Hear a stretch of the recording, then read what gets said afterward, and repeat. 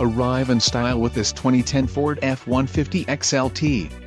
This may be the set of wheels you've been looking for.